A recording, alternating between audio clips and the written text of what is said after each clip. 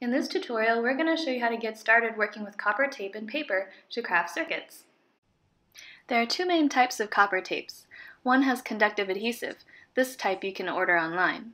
The other has regular not conductive adhesive. This sort of tape is more common and can be found at your local hardware store.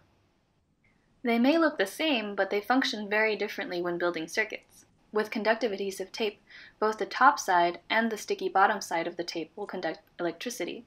That is, you can stick this tape over a gap in your circuit and electricity will flow through the adhesive and turn your circuit on.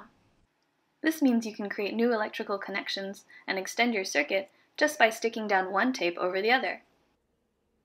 On the other hand, with non-conductive adhesive tape, only the top side will reliably conduct electricity.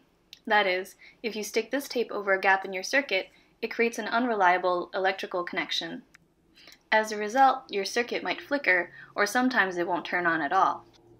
Here, you'll need to fold the tape on itself so that the exposed copper is on both sides. Then, you can tape it back down to your circuit, but since the ends aren't sticky anymore, you'll need to tape over the connection with a normal piece of tape to secure everything. Likewise, if you want to extend your circuit using non-conductive adhesive tape, just sticking the tapes together will create flaky connections. As a result, your circuit may flicker or not turn on at all. To fix this, at every junction between different pieces of copper tape, you'll need to fold back the end so that there is exposed copper on both sides, and then tape the connection back down with regular tape to secure it. This way, the connections are much more reliable. Now let's look at the craft side of using copper tape. You'll notice it's basically like regular tape except made from copper metal so that it can conduct electricity. You can use scissors to cut it, but it's also soft enough to tear by hand. I like to cut my tape in half lengthwise because this gets me twice the length of copper to use, and also thinner tape is easier to maneuver for finer details. Before sticking down the copper tape, you'll need to remove the paper backing. I've found the easiest way to separate the backing from the tape is to run the pad of your finger against the edge until the tape peels off. When cutting your tape in half, you can cut evenly and produce even straight lines, or you can feel free to play around and create curves or any designs that you want so that your tape is different widths. Here I've cut a wavy pattern.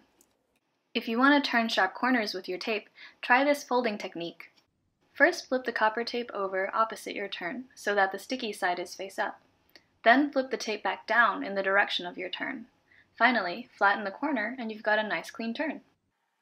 You can create any angle you want using this fold technique. Try making your own zigzag pattern.